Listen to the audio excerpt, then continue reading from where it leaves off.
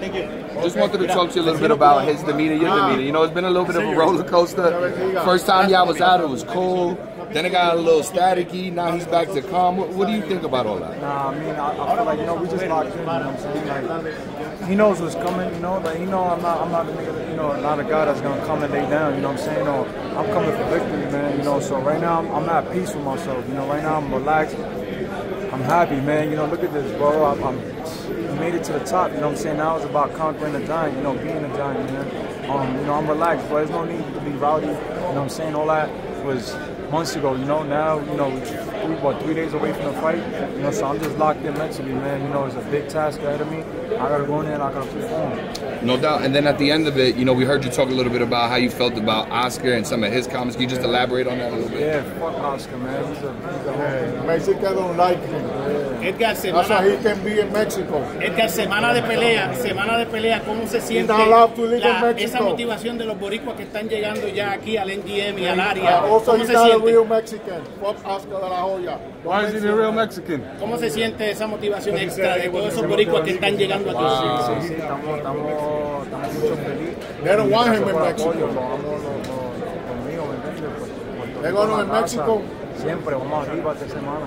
¿Qué le tienes que decir Oscar de la Hoya en español para que los boricuas entiendan? Eh, Oscar, que se mame, oíste. y, coge, por, ya tú sabes, para la verga, Vete para la verga, cabrón. No puedes con nosotros. Este es nosotros, esta semana de nosotros, oíste, de Puerto Rico, puñeta, para que lo sepa, cabrón. Sean. I got you. Sean, I got you. Compañero, que dijo Edgar de Langa, de Nueva York para el mundo. Vaya, vaya, mañana no fue necesario el cambio. Déjalo entrar, déjalo entrar ahí.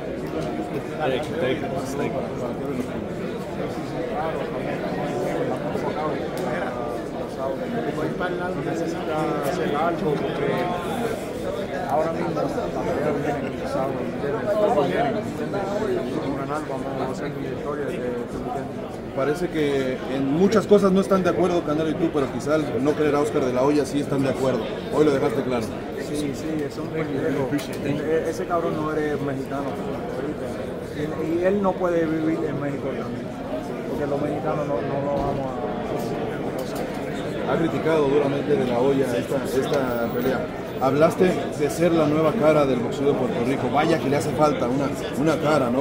A, un boxeo de, mucha historia. Sí, sí, sí, Puerto Rico necesita una cara ahora y esto es mi momento para hacer eso, ¿me la bandera arriba, muñeca, y a ganar un leyenda de, ese, de semana, este sábado. Por último, Edgar, ¿te sientes subestimado? Todo eso que la gente te dice que no puedes ganar, te ha alimentado el, el alma, el corazón. Todo eso te da energía para, para poder darle la sorpresa el sábado. Sí, sí, esto es mucho, mucho motivación para la gente que está tirando las las malas, hablando mal de eso es motivación para mí, para, para ganar esta semana. Perfecto, excelente hermano, lo mejor para ti. Gracias, compañeros. Edgar, you, Edgar. Edgar, you've uh, you know you've talked about your IQ winning you this fight, but also the sixth round knockout.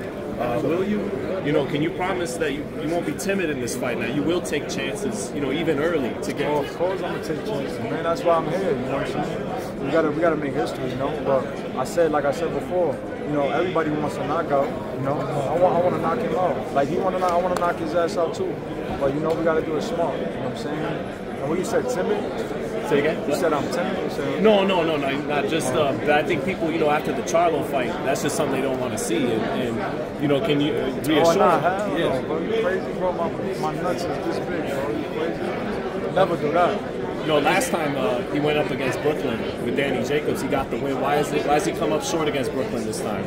Oh, if you really, if you really, if you really study that fight, Danny did a, a hell of a job, man. You heard that fight was super close, bro.